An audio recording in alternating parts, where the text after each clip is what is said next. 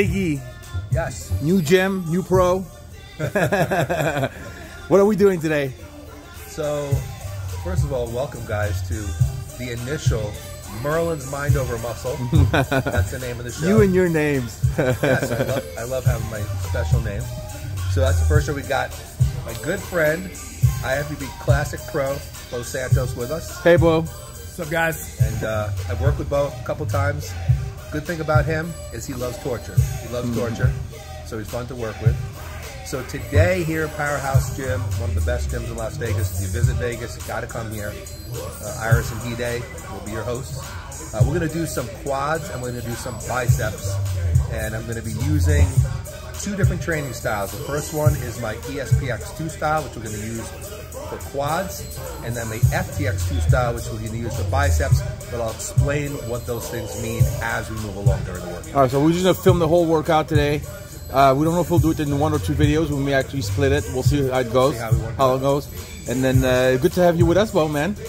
Love to be here, man. Always great. He's the first. He's the first one on full-time bodybuilding TV. That's right. That's an honor. Very honored. Very, very, very All right, I'm sure we'll have him some more in the future. Yeah, love it. Hi, good to have you here. Look who we have here greeting us uh, in his gym to train. Oh, star, Hey, superstar. hey, hey. So what's going on? I haven't seen you in a while. I know. I came back Man.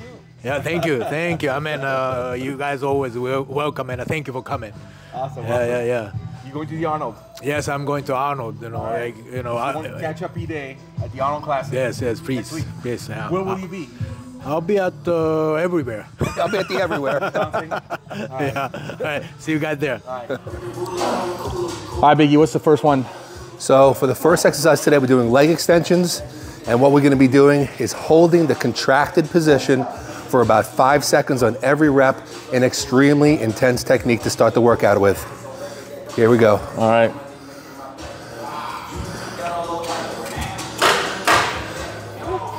Now Beau's not gonna only be squeezing at the top, just holding it there.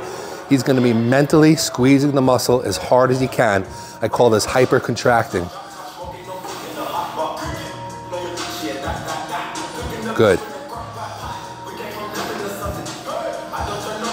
This program that we're using today, E ESPX2, is all about creating maximum tension in the muscles. It's not about weight, it's about creating tension. And that's why we're emphasizing the contraction and holding it in place and squeezing to create that tension in his quads. As you can see, he's flexing real hard.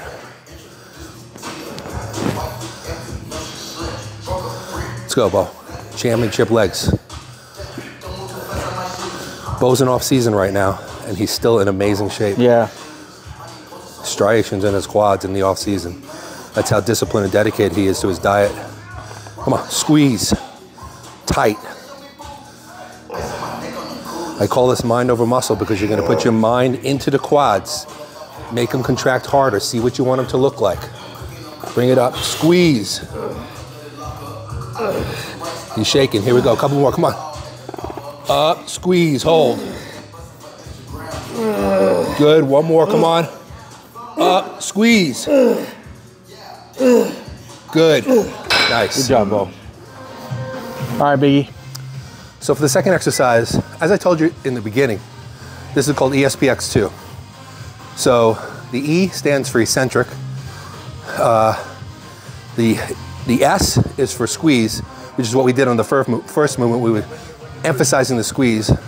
The P is for positive. So we're emphasizing the positive. So I'm doing them a little bit out of order, but we're doing the leg press. We're gonna do four second positives out of the bottom. If you have never tried this before, this is one of the most difficult techniques you could possibly use, especially on a leg movement. But Beau is about to crush it here on this leg press.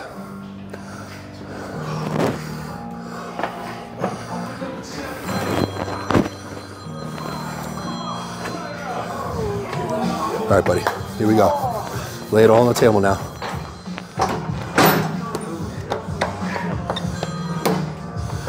So when you guys watch him do this, you're gonna see he's gonna come to the bottom under control. He's gonna stop at the bottom before he pushes up. He buries it, holds it, and then starts four seconds on the way up.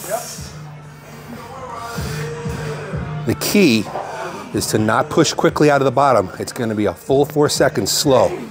One, two, three, four.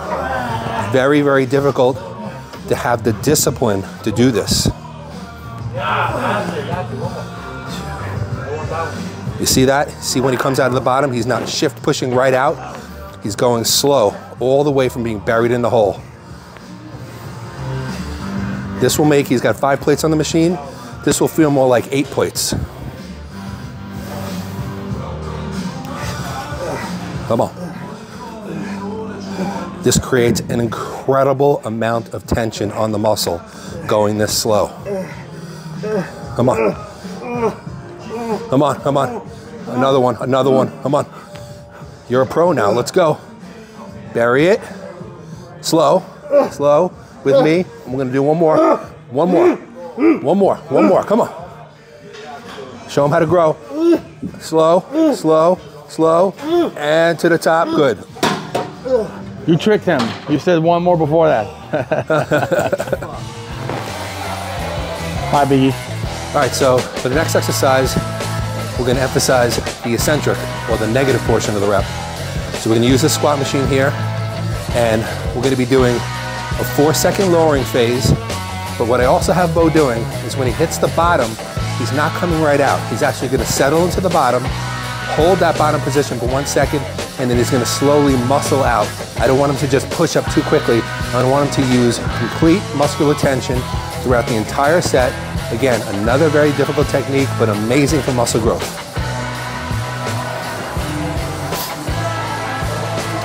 In fact, eccentric training, I should mention, is one of the most effective anabolic igniters for muscle growth. It is actually more important for the concentric, which a lot of people don't realize. So watch how he slowly goes down all the way through the range of motion, taking four seconds, settling at the bottom, and muscling to the top. And you can see that's a true four seconds. It's not a quick one, two, three, four. Also notice that he's doing it evenly throughout the entire rep. So he's starting from the top and coming slow right from the beginning of the rep, not dropping halfway and then going slow, slow throughout the entire range. Getting down to the bottom position, holding for a second, and pushing to the top.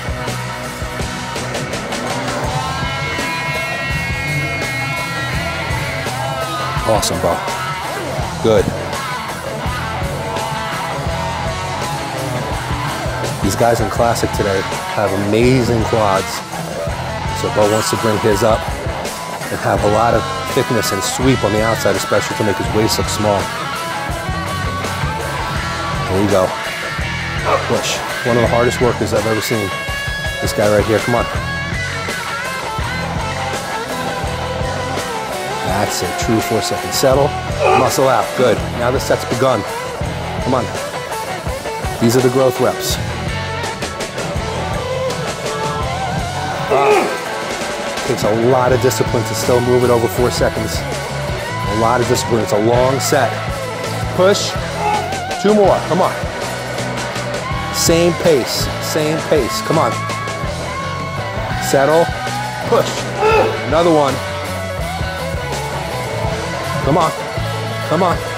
This is when you grow. Up. Finish, finish, finish. Nice. Excellent. Hi, Biggie. All right. Forgive me because I just did my set. I'm Yeah. exhausted. However, what we're doing here with the last exercise for legs is we are now doing a very, very high rep set. We want the reps to be at least 25 or so. The idea here is to force as much blood in the muscle as possible because after we did the first three exercises, which caused a lot of trauma to the muscle fibers, we now want to force the blood in, the nutrients, the oxygen, uh, so that we can facilitate the recovery process right away. Plus, also getting the cells completely filled with fluid is also another signal for growth. When you overfill a cell, it tells the body the cell's got to get bigger, they got to grow. So, but I did 30 reps on my set. I'm challenging Beau to do 50 on his set because he has to go this year and win every one of his classes. Plus, you already did 50 to the set before, so now he has no choice. Plus, he got 50 on the first one, so I'm making him do it again. So he's a beast. So let's do it.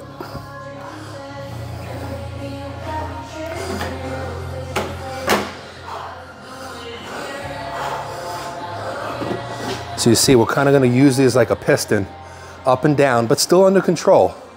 He's going to see he's still controlling it. He's never locking out completely. This is constant tension, forcing as much blood into the muscle as possible. Okay, so wants to move it back a little bit. One set, one, just back one? Okay. This is very, very difficult. We have already been through hell in this workout, to tell you the truth. It's a very difficult way to finish, but this is the idea between E EXPX2 training. This is the way we do it. And he's off.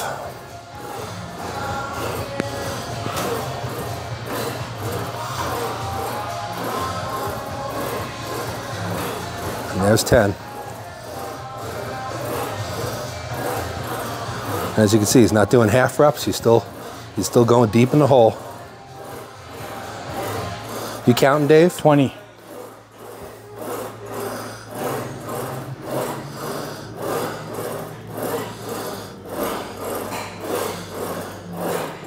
Thirty. 30. Now he's getting nasty. Come on. Making it look easy.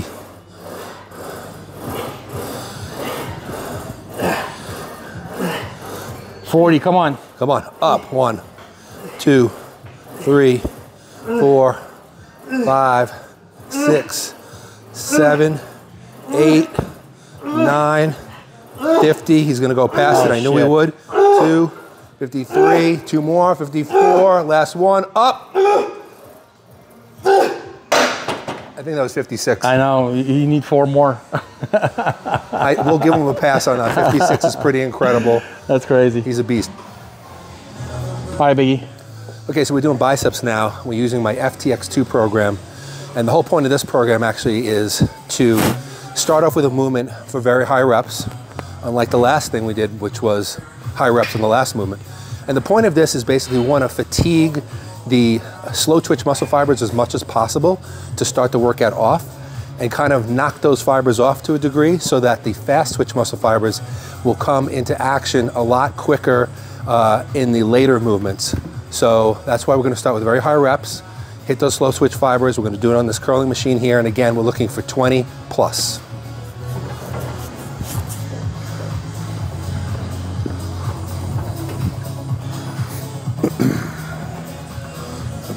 Here. Here we go.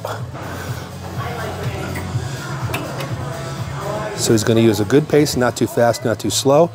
Everything's still under control, but he's not going to be holding or squeezing at any particular point in the motion. It's just going to be down and up. And again, like I said, these high reps are going to fatigue the slow twitch muscle fibers. So we're going to fatigue them early so the following movements are going to work the fast twitch mu- muscle fibers a lot more quickly and a lot harder. Come on, Beau. All right, here we go. Up. Up. Up. Three to go. Here we go. One. Up. Big burn. Up. Two. Last one. Up. Squeeze. Boom. Nice. Way to go. What's next, Biggie? Okay, so for the next movement, we're going to be doing this uh, incline low cable curl. You'll see he's going to sit back against the bench. It's going to be a slight angle out front. Good strict curl, but the technique is what's really important on this one. Because I'm looking to really, really get to those fast twitch muscle fibers, that first exercise we did, high reps, fatigue those slow twitch muscle fibers, kind of get them out of the way, so to speak. The second movement we're going to do is going to go heavy, around eight reps or so. Want to stay at least under 10 and he's going to use a four second negative because of course we want to have good time under tension but we're going to use a very very explosive positive. So this is going to be one where i'm not telling him to necessarily muscle to the top. Now this doesn't mean throw it to the top. We still want to use muscular action biceps in this case but we want to do a very very very quick rep a very very explosive rep because what that does is it excites the central nervous system. And when you get the central nervous system excited like that uh, you will actually engage more fast twitch fibers in the following movements, which is what we're trying to do. So give this a shot. It's really, really tough. Uh, explosive movements. It's great for growth as well.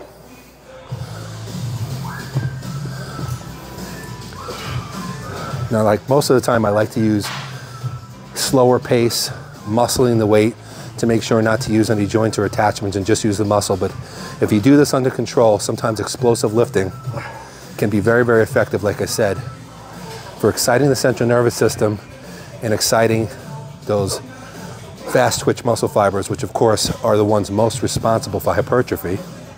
So as you see, he's doing a four second negative. And even though the weight is not moving that quickly, in his head, he's trying to be as explosive as possible. But since it's heavy, it's kind of not going to move that quickly. Good full range of motion. Explosive to the top. By doing a curl at this angle with his back up against the pad like this, it takes any swinging out of the movement. He can't use his lower back. And when he gets to the bottom, he sets for a second, and boom, then he starts. Go. Come on, another one. Still under control, as you can see when, when he's fatigued. Stops for a second. Up. Finish this one. Finish this one. Boom. Slow to the bottom. You're done. Lengthen. Lengthen. Nice. Good set. All right.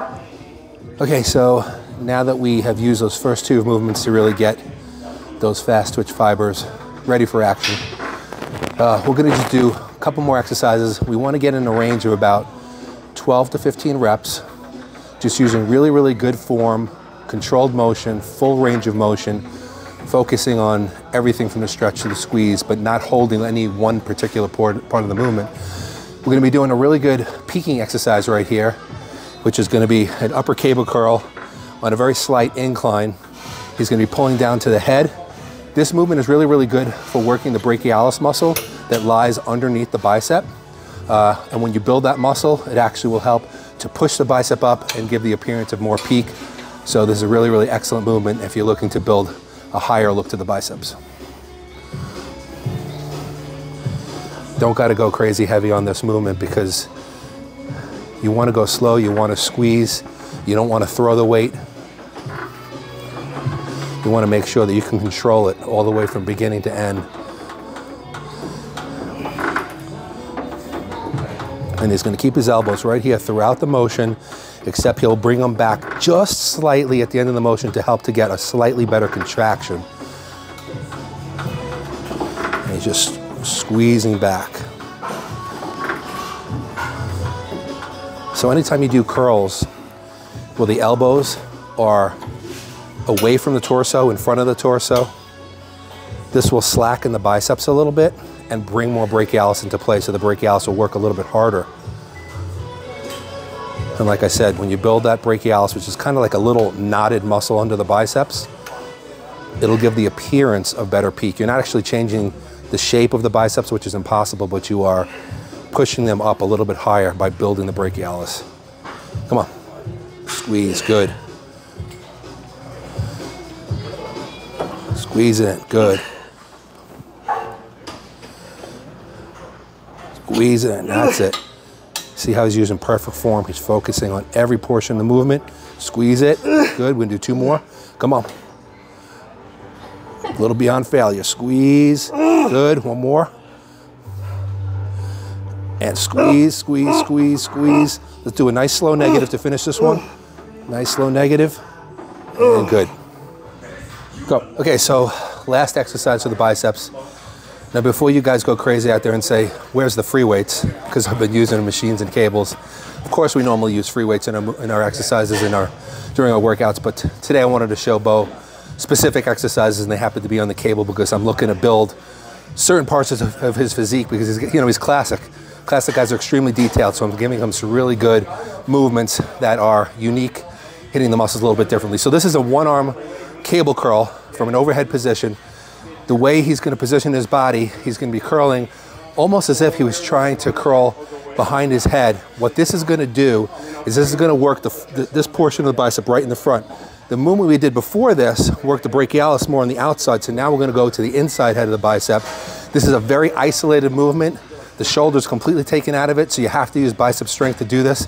So it's a really good isolation movement, especially to finish off with a workout.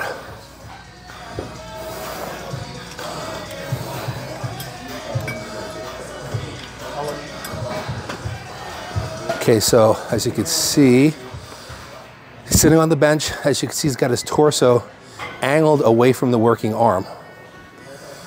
He's starting all the way out straight. He's keeping his elbow up. So you see his upper arm is at an angle here rather than straight. It's up at an angle. This is going to help get a better contraction. Also, what he's focusing on doing is keeping his elbow in this position the whole time. And also, as you can see, the plane of motion where his hand is going, it's as if he's trying to curl back behind his head. This is going to give him a better contraction and better activate this head of the bicep right here in front. As you can see, he's already got an amazing peak on his bicep. So along with all the heavier movements that he does, the compound stuff he does, movements like this are very, very important to build that detail. And as you can see, he's also focusing on the squeeze. This is a great peak contraction movement. You have a cable, so between those two things, take advantage of it and get a really good hard squeeze at the top. Squeeze. Mm. A couple more. I want to keep that elbow here. We don't want to move forward. Squeeze. Mm. Good. Two more. Squeeze. Good. Mm. And last one. Squeeze. Contract, contract, contract. Hold. And lower. Good. Excellent set. All right.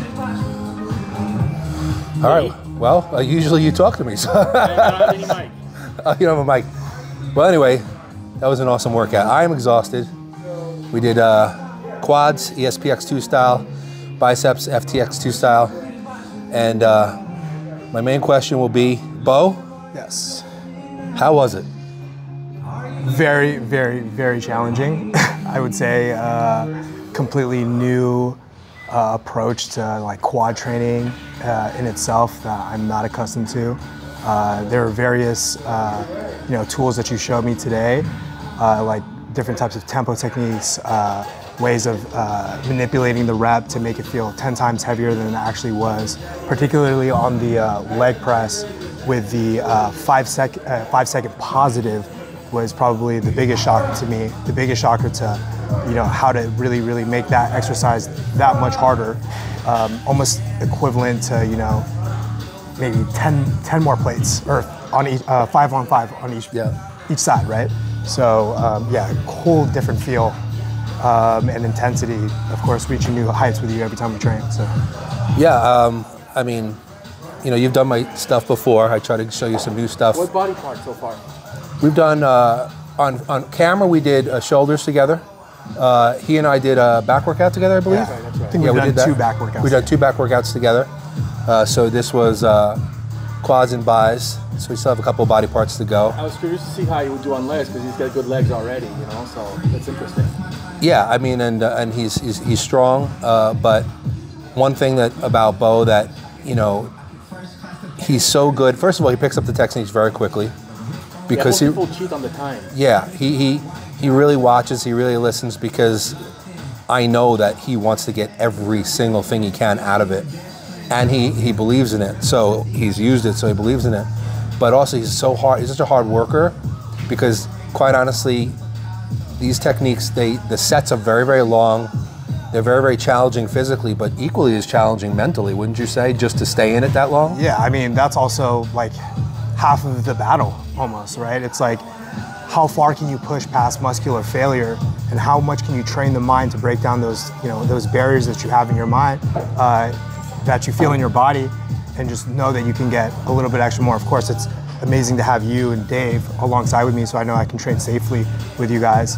Uh, but you know, key is to be able to push limits every single time, be personal uh, best, be able to reach new levels of intensity, which I feel like is only going to translate to muscular development at some point. So. So, are you gonna? You're doing your off season now. You know, Yes. there's- and you're really heavy into your off season now.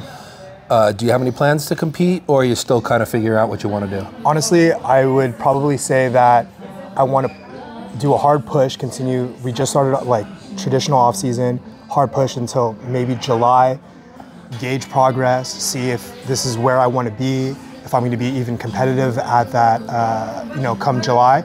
If not, uh, we do another push and uh, hopefully to, you know, be able to make some significant improvements before I get on stage. Of course, I would like to get on stage immediately, and I mean, like some I think you'll make a lot of progress till June. But the question is, when you're not training with us, do you still do some of his techniques? Of course. I, I try, because some people just go back to do whatever they were doing before. No. So it's interesting. It's honestly hard not to slow down the reps and not pick up the tempo because of how much harder it makes every exercise. And when you're by yourself, you know, like being able to slow down the rep instead of just adding more weight is a lot safer way to challenge yourself. Challenge yourself, right? So when when I'm not training with you guys, some of the biggest uh, tips that I've taken from you is absolutely like pushing the intensity, and then of course being able to manipulate the rep speed and the tempo in order to gain, uh, you know, some type of uh, progressive overload, whether it's rep, uh, uh, rep count, or uh, weight, or whatever it is, right? So. Yeah, and another technique that I showed you today, which I, I brought into a lot of the exercises, is something that I call setting. And and you know, I wanted you to talk about a little bit. And the reason why I want you to talk about it is because you actually mentioned it, it to me a couple times during training when we were doing the uh, the eccentric training on the squat machine. And I was making you stop at the bottom and hold for a second before you even started the ascent. Yeah. And you were like, "Wow, that just brings it to a completely different level." So, Yeah. how much do you think that that really comes into play in terms of making the sets more uh, effective? it almost to me it almost feels like you're doing two reps within one rep because you you pause there's no you- you're a complete stop No of motion. momentum. no momentum right? So you're already fatigued from the initial movement or drop to the to the bottom of the uh, of the rep. And then now you have to pick up all that weight again start a new rep essentially and be able to a lot of your cues were very helpful to be able to uh, muscle it up right? To only just flex the muscle to get you up out of that hole brings like new levels of uh, you know d- different feel to the muscle when you're when you're exercising. So yeah, Yeah, there's Well- rest. Yeah, it's it's it's it's quite a test. I mean, uh, and you know, you you passed it with flying colors, and not everybody does it as well as you did. But I think I think mostly it's people who have high pain thresholds, uh, but also people who are so driven that they're willing to stay mentally in the set long enough because when you start to fatigue and you have to still use those four second negatives or five, five second positives or those five second holds, it becomes brutally difficult. That's the last thing that you want to do is, you know, work like that. And I made sure you kept that same pace the whole time and you and you did it. He went So- slower. Some sometimes you went even lo- longer than you should have. Yeah, and a couple of times where I said to him two more, he would still get three or four more because he's just so driven, which is why I love working with him and I, and I hope to work with him a lot more uh, as time goes by. But I know you're probably exhausted, hungry, ready for a nap, so I don't want to keep you any longer, but I want to say thank you for being on the initial episode of Full Time Bodybuilding TV. Please subscribe, guys. Please subscribe, like, and subscribe to the channel. Tell friends about it because this is going to be the ultimate online muscle magazine. Uh, and uh, this was the first show. I have changed the name of the show on this channel to Merlin's Mind Over Muscle because I believe that it all starts in the mind. So thank you, buddy, for being on. And we will have you on many more times. And thank you guys for watching. thanks guys.